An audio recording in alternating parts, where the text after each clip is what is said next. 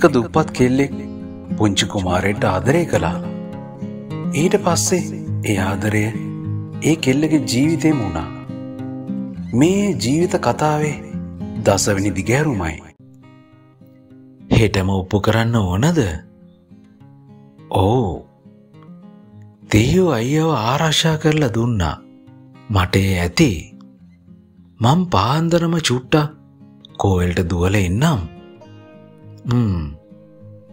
අපි අයියේ දවසක ඒ කෝවිලට යන්. විමුත්තිට හිතක් නැත. කෙල්ල ඉන්නා දවස්සල දිව්වේම ඒ කෝවිලටය. නංගි යන්න. ඇයි විමුත්ති සිනාසුනා මිසක කිසිවක් කීවේ නැත. මේ ඇඳුම් හිරයි. ඇඳුමක් මාරු කරගමු. හිමාලි නැගිට්ටේ විමුත්තිකි දන මඩලටම බරදීය. ඇය නැගිටිද්දි ඒ පපුුව එසවනේ ඕගේ මූුණ ළඟින්මය.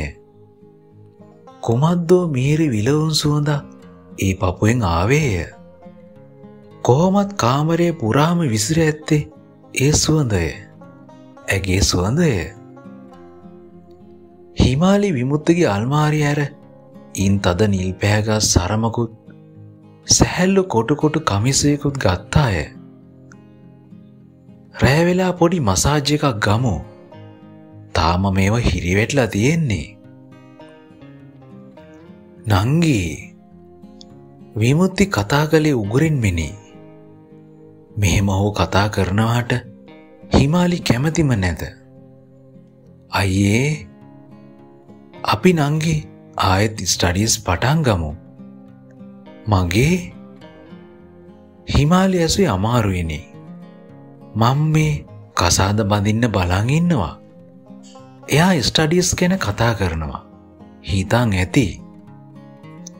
හිමාලි සිතේ කේන්තියනි. දැම් මටයියේ ඇයිනංගේ දැන්ගිහින් කොහොම කරන්නද විමුත්ති බලාගෙනම උන්නේ අයියට තව චුට්ටක් සනේපුනාම මන්නුවර යන්නම්.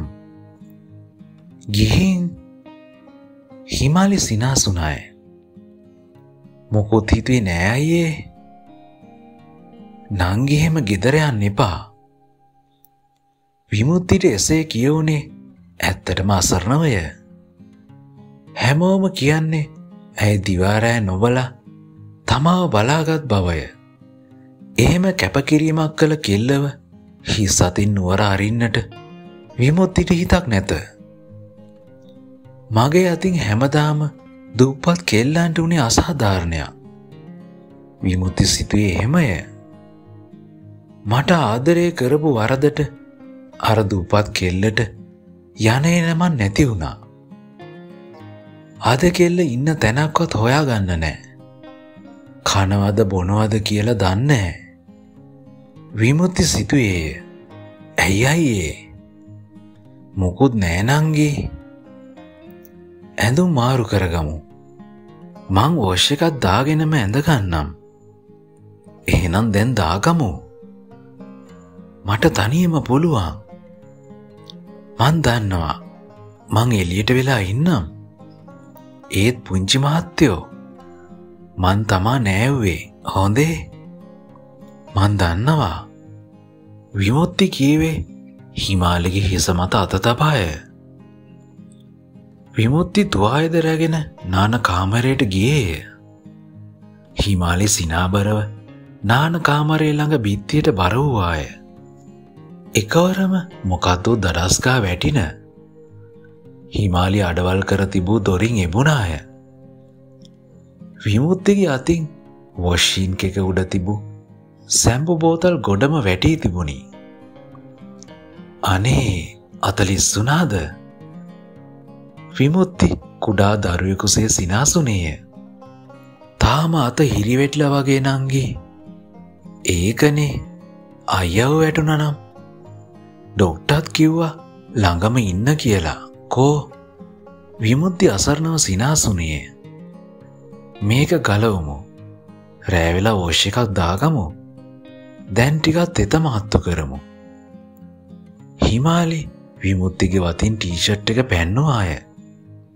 අඟල් දෙකතුනක් එහායි ඒ පිරිමිලාය දෑසට පෙනේ. දැන් ඉස්සරමින් නොවේ මේ ඉන්නේ හදවත වැඩ කරන පිරිමියකි. වොෂ් බේසින් එකට වතුර පුරෝමින් හිමාලි සිනාසුනාය. ඇයි නංගී නිකං නිකන් නෙමේ. ඒ දවස්සල හොඳයි. ඇයි? පොඩිපුතෙක් වගේ. දැම් මේ ලොකු කෙනෙක්නේ. ඒ දවස්සල මොනවා වෙන්නට ඇද්ද? කෝ පාත්වෙන්න ඒ මුහුණත් ගෙලත් පපුුවත් පිටත් දෑතත් සේදුවේ හිමාලිය. ඇත්තටම කිව්වොත් ඇය සේදුව නොවේ. තෙත අතින් ඒ පිරිමි වත අතගෑවාය. දැන්මම තනියම බාත්රූමෙන් එපා. හොඳද? හිමාලි පුදුමාකාර ආදරයකින් කීවාය. ඇය විමුත්තගේ පපුව පිස දැම්මේ ඒ මොහොන ඉදිරිපසම ඉඳය. බලාපොරොත්තු නෝ මොහොතක හිමාලි දෑස් එසෙව්වාය. විමුත්ති බලාගෙනම උන්නේ ඇය දෙසය. මං අයියේ මෙතන ඔයාව ඉන්දවෙලා මේ මුළු ඇඟම පියදානවා ක්‍රීම් ගානවා. තෙල් ගානවා. පස්සෙ සරමා කන්දලා ටීෂට් එකක් දාලා ඇඳට ගේනවා. නංගිට පින්. ඒවා මතක කරන්න බෑයියේ හිමාලි කිවි උගුරෙන් මිනි. පසු ඇය. ඇගේ සුරත එහෙමම. අමු අමුයේ ඕගේ පපුුව මතින් තිබ්බාය. ඔයාට ඒ සත්කාර කරලා මල් ලොකු සතුටක් ලැබවා. ඒ සතුට පුදුම අහිංසක සතුටක්. ඒක මට කියන්නට ගියදී හිමාලි ගිලගත්තාය. ඒවා දැන්මම කිවයුතු නැත. සරම ඇඳගන්න. එහෙම කියා ඇ ඇඳ අස් කලාය විමුත්ති සරම ඇඳගෙන ටීෂට් එක අතරගත්තේය බොන්න තේකක් හදන් එන්නම්. මාත් පහලට එන්නම් නංගී. එක පාරමයන් දැන් ටික කැලවෙලා ඉන්න. එහෙම ඉඳලා එපා වෙලා. ඒන යන්. මේ කොන්්ඩෙ ටිකක් එහෙම පීරගෙන යන්නේ පැයි හිමාලියේ කොන්්ඩය හැතුවේ හැකි අතිනේ එහෙන යාලුවනේ තව තවත් මේ වගේ ලස්සන කතා අරගෙන එන්න.